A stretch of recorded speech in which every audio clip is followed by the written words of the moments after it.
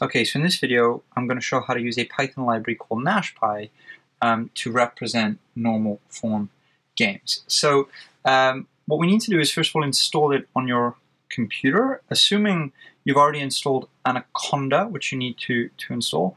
Then um, we just need an internet connection to get NashPy on the computer. So um, on uh, to do this on a Mac, you use the terminal. On uh, Windows, uh, I would recommend using Anaconda prompt. And then in there, we just type pip install, and this is actually a very powerful command that lets us install all sorts of Python packages that are available to us. It's one of the huge strengths of Python, but the one we want in particular is one called NashPy. So we type pip install NashPy, and we press enter.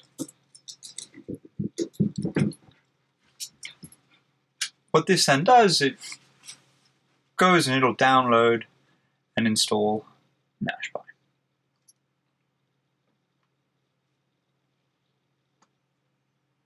Um, then what we can do is we can go over um, to uh, Jupyter. So this is my Jupyter setup here.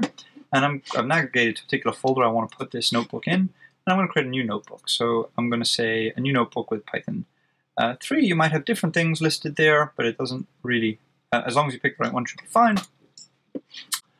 Um, I'm going to call this notebook wait for it to open. Uh, and I'm going to call this notebook representing normal form games. So I'm just going to rename that. And so here I can start uh, using NashPy. So the first thing we need to do is import it. So we're going to import NashPy, and just to make typing a little bit quicker, we'll import NashPy as Nash. And so if I run that cell, um, that's run. And now we can, for example, take a look at which version of NashPy uh, we've got. So this is version 0.017. And we can start um, using this. So what we're going to do is represent a particular game using two matrices. And the game we're going to represent is one called Battle of the Sexes. So utilities are 3, 1 in the first row, and 0, 2 in the second row for the first matrix. And for the second matrix, it's very similar. It's 2, 1 in the first row and 0, 3 in the second row. And then we can just create our game, battle of the sexes to be nash.game, and we pass it A and B.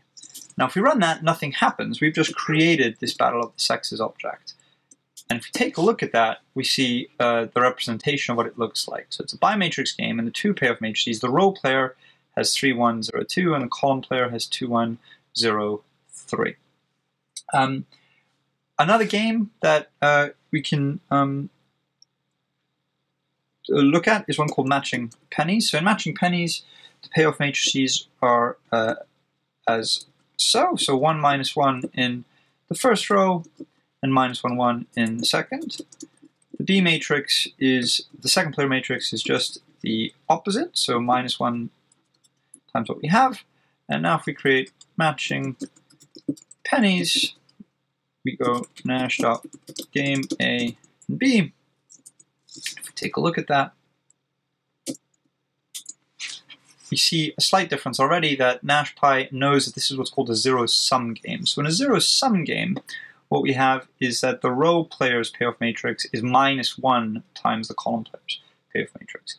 And all that means um, in an interpretable, interpretable way is that anything that the row player gains is exactly the opposite of what the column player gains. So if I win, you lose.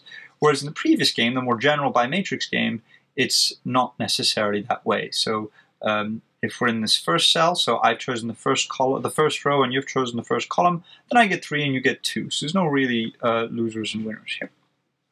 Um, we can, when we, uh, if we want, define matching pennies a different way.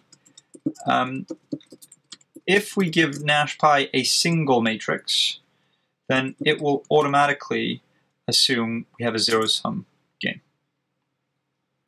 And what we can use NashPy to do is calculate utilities, is uh, calculate Nash equilibria, and do all sorts of things, and we'll see that as we go along.